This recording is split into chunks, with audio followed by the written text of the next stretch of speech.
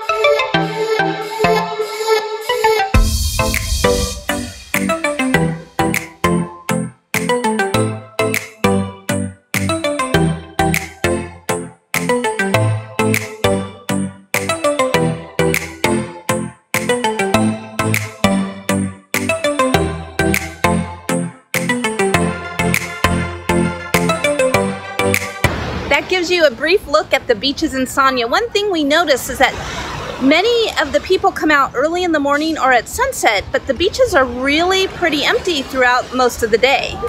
And they're really clean as well. You don't find trash or anything out like that on them. An occasional um, jellyfish. Occasional jellyfish. And one of the things I really liked about it is a much slower pace of life here. Uh, it's very calm and relaxing in Sanya. So hope you enjoyed it and we'll see you next time. Bye.